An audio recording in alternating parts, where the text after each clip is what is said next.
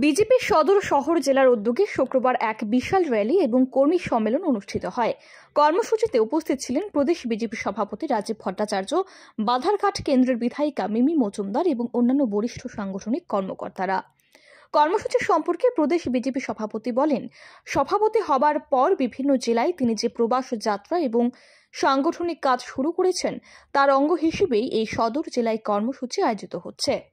ভারতীয় জনতা পার্টির সদর জেলা উদ্যোগে আমি সভাপতি হওয়ার পর বিভিন্ন জেলা সফর করছি, বিভিন্ন জেলার কার্যকর্তাদের সঙ্গে আমি সাক্ষাৎ করছি, মিলিত হচ্ছি।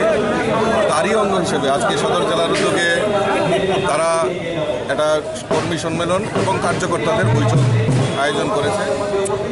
তো ভারতীয় জনতা পার্টির সমস্ত জেলার সফরে একটাই আমার কাছে অনুভূতি যে ভারতীয় জনতা পার্টির কার্যকর্তারা তৈরি আছে এবং আমাদের যে লক্ষ্য যে দুই হাজার তেইশে সরকার পুনঃ প্রতিষ্ঠা করা, আর আমাদের যে আমি সভাপতি হওয়ার পর থেকে আমি কার্যকর্তাদের মধ্যে আহ্বান রেখেছিলাম যে আমাদের শুধু জয় নয় আমরা সাইটে সাইট ত্রিপুরা বিধানসভা দখল করব।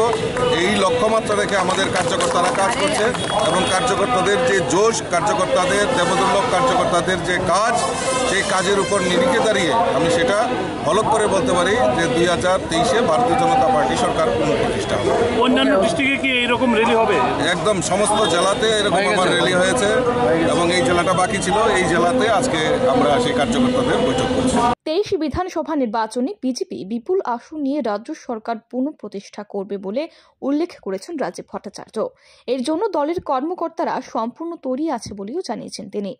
এই র্যালি এবং কর্মী সম্মেলনকে কেন্দ্র করে বিজেপির কর্মী সমর্থকদের মধ্যে ছিল বিপুল জোশের মেজাজ আর উৎসাহ।